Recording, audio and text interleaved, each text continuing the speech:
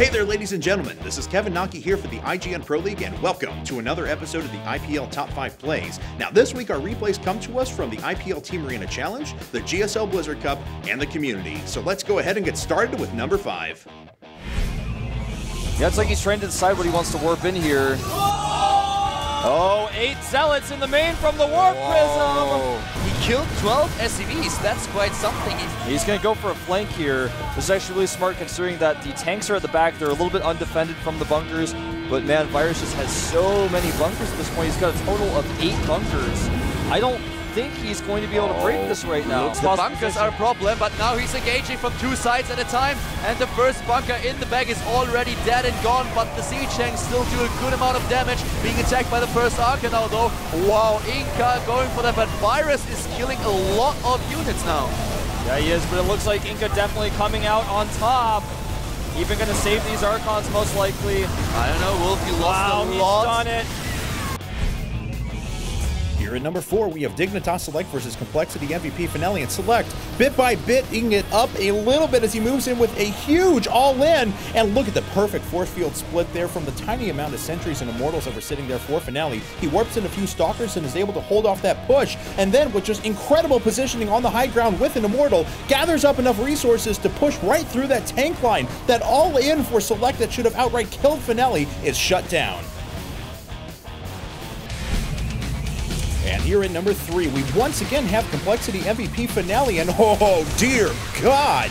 Deflecting those Banelings with those brilliant storms, setting up that positioning so well on his units. And watch this, he's going to storm once again, blink back, and mitigates almost all of the damage from the Banelings. He trades incredibly cost effectively against that gigantic army from Killer and wins the game.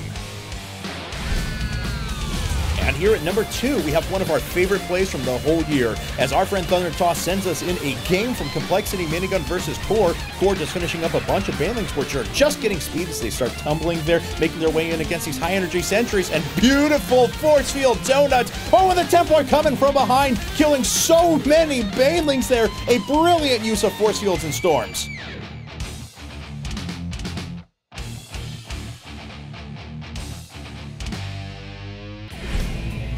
The planetary looks like it will be destroyed down there. He just finally survives an attack, but this planetary oh goes oh down. God.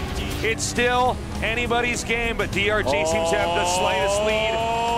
Oh, six Broodlords on the way. And I don't know if there are enough corruptors out to actually hold this. And the Marines running in now. Trying to take out those high ground tanks, trading that many Broodlords for Here that, come though. the Banelings. Oh he my needs to get those Marines. God, Nice targeting. He doesn't get the Marines. The Marines will clean this up. Now MMA taking a very strong lead. Oh my God, beautiful fungal oh. growth! Beautiful fungals all over the place. Just gotta be careful though, you can't lose all these infestors. Oh, the Corruptors doing their best, but there may in fact be too many. Oh, Oh my God. Are now pushing it here. He killed off every single Viking with that last fungal growth of his. DRG pushing forward. He has less supply, but so many Broodlords Yeah, are he might, he might win a position game instead of an economic one if he could just get up there to where those barracks are. This is the craziest thing I have ever seen in my entire 14-year StarCraft career. I cannot believe what I'm seeing. DRG pushing Zerg to its limits, pushing into the main base, the production facilities. Does he have enough? Sharklings are coming up here to try to defend. And these Marines, they're the last stand. He has a few Siege tanks in here helping out immensely. A few Vikings do come up. The last corruptors of DRG. Can they hold this off? Still so much damage being dealt. Oh my god, Oh my God, the expansion! And uh, for DRG's when he take it off, that means he'll have no income. No no income left. DRG's supply plummeting, even though it looked like he would break through. JJ!